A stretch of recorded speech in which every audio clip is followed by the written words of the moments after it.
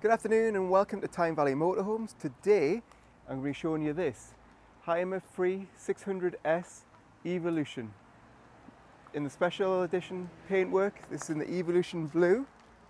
It's a 2022, it's automatic and it's 81995. So come with me, let's have a little look. As we step inside, we've got the pop-up, also got this lovely awning, extends around two and a half meters, makes an extra room plenty of space. It's fitted with the black alloy wheels. Again, everything's contrasting, so it gives a really, really good look. When we step inside, you'll notice at the front, when you look at the head unit, it's got the latest Mercedes MBUX. It's automatic, climate control, cruise control. It's got everything that you would wish to have, so all of the comforts that you would have in a car. You've got the lovely comfortable seats, you've got adjustable front section, swivel. There's a lot of adjustment on the seat so you can find full comfort. We've also got two seat belts here as well for carrying passengers. Obviously the table removes, which again we also have the ladders which gives us access to this great living area. So up at the top we have a huge double bed. We can also open up the front which lets in a lot of light and also a lot of ventilation. In terms of heating, um, it's fitted with the Truma, that's gas and electric.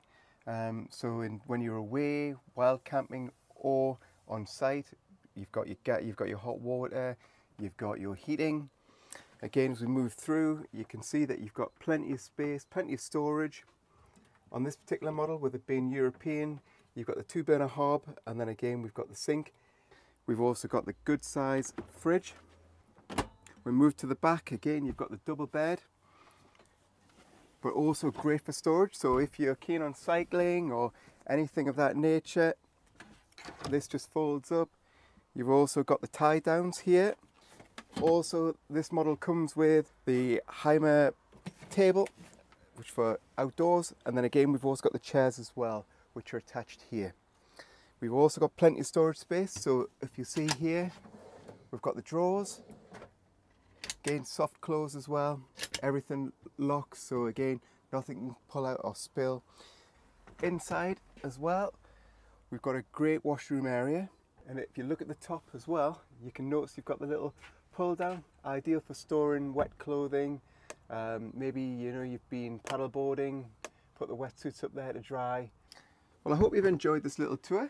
Um, if you want further information, have a look on our website, www.tynevalleymotorhomes.com um, or get in touch, sales at tynevalleymotorhomes.co.uk. Thanks for watching.